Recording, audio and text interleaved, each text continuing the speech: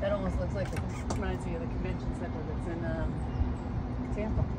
The way that it's shaped.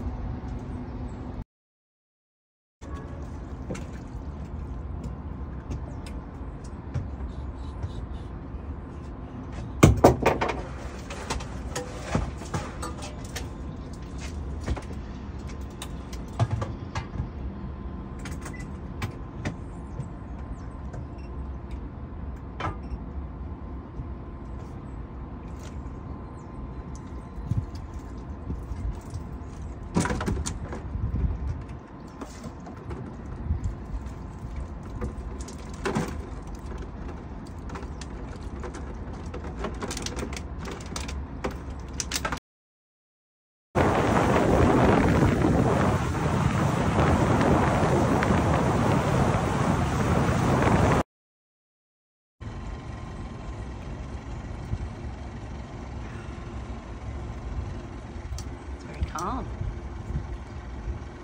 Usually they uh, tend to freak out.